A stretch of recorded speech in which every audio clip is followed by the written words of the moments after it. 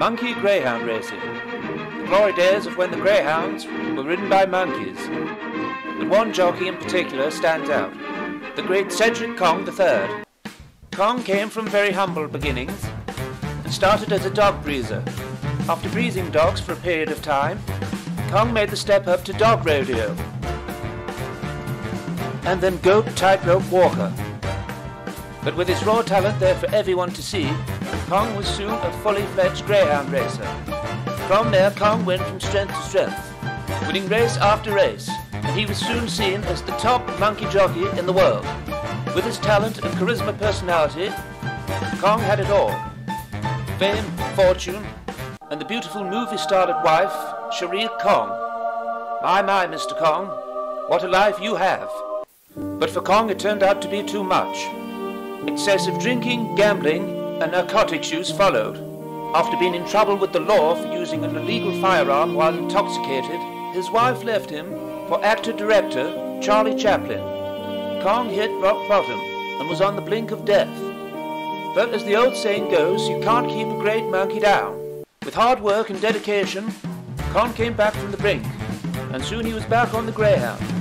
After back-to-back victories, winning the Critter Cup and the Banana Derby, it was time for the biggest race of the year, the Primate Handicap. The crowd is a full turnout, all eager to see if this former great champion can make the comeback of the century. The atmosphere is tense, the adrenaline must be flowing through the jockeys. Before the race you could hear a pin drop. And they're off! It's a tight race, it looks like Kong's comeback was too good to be true. But wait! Last minute, Kong makes a push.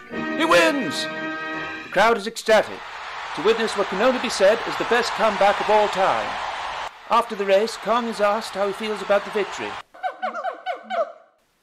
Spoken like a true champion.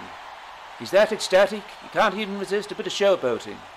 It's the cup and bananas instead for Kong, no champagne, he's still on the wagon.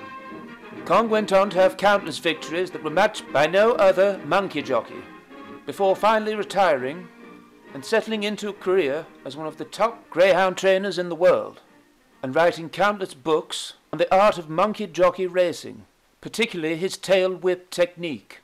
And he became a strong advocate for alcoholic monkeys.